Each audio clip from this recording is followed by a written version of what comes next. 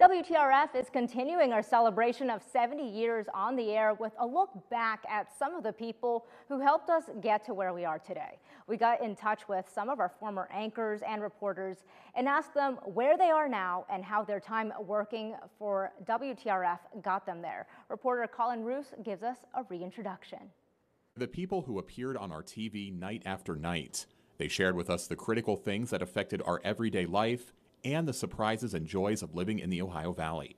To celebrate WTRF's 70th year on the air, we've reached out to some of the brilliant journalists who passed through our newsroom and asked them about the little piece of Wheeling news they still carry with them today.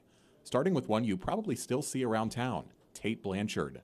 A former 7 News anchor and reporter, he says he wanted to be in broadcast his entire life and felt like he had made it when he stepped through our doors. He had the opportunity to cover crucial events in his four and a half years here, including the devastating 2017 floods, and says the memory still sticks with him.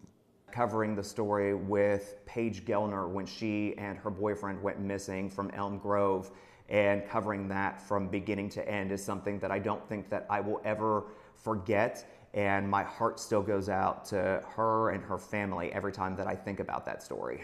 Tate now works as Chief Development Officer for the IC group of companies, including IC Care and IC Cab, and emceeing many, many nonprofit events in the Ohio Valley. Sarah Yingling may live across the country now, but she tells us that WTRF was the launch pad for her career. Working as our Northern Bureau reporter, she was in charge of finding the stories that mattered most to you in four different counties.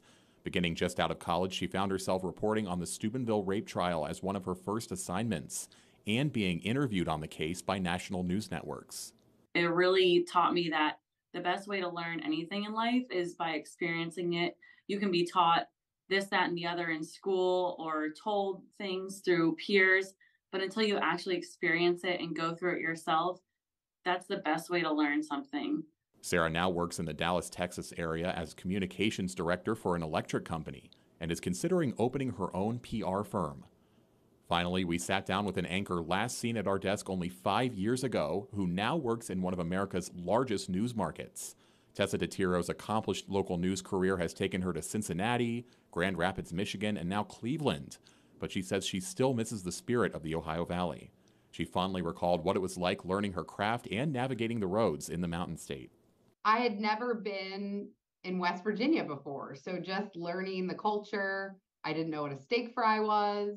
I went to many when I was here. It was a new adventure every single day. Each had story after story to tell about how WTRF shaped them into the professionals they are now.